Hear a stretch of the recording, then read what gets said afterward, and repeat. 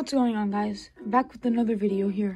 Alright, so today I decided to switch things up, do a little vlogging. Uh, this is a hand crank flashlight.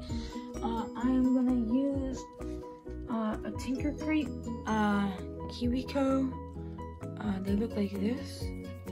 So, yeah. That's the box down there. Uh, alright, so hand crank flashlight. Let's do this here is what we're gonna have to use. Uh, this is pretty much the base of it. You have some styrofoam pieces, uh, that. You have a lot of wiring and stuff.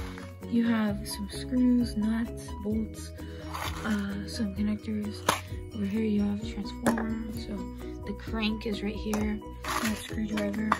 So yeah, let's get right into it.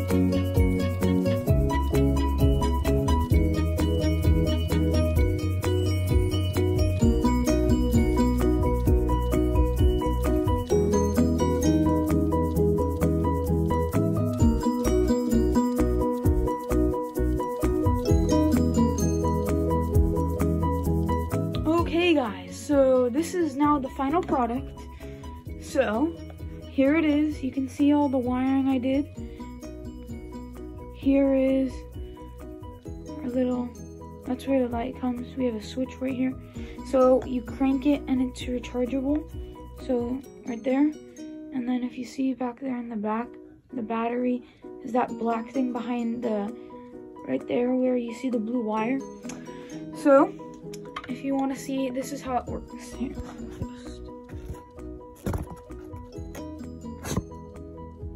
Okay, so see how it's not on? So you gotta flip the switch right there, and it's already gonna be on because when you crank it and it stays, see now it's daytime right now, so it's not gonna be super powerful, but it looks nice.